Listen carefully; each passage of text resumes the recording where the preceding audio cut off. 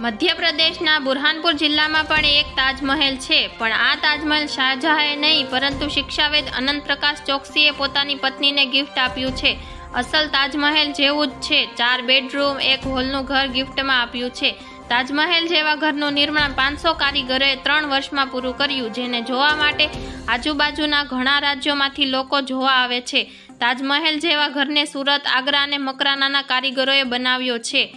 જેમાં નવ નવ ઇંચની વીસ ફૂટની ઊંચી દિવાલો બનાવવામાં આવી છે, જેમાં મકરાના માર્બલ લગાવવામાં આવ્યા છે, જે આ ઘરને બારેમાસ ઠંડુ રાખે છે. અંદર અને બહારના તાપમાન દસ ડિગ્રી ફરક હોય છે.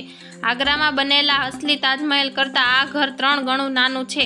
પતિ અનંત ચોકસીનું એવું કહેવું છે કે મુમતાઝનું મૃત્યુ બુરહાનપુરમાં થયું હતું. માટે તેમને પત્નીને ગિફ્ટમાં આપવા ડિઝાઇન તાજમહેલ જેવી રાખી છે.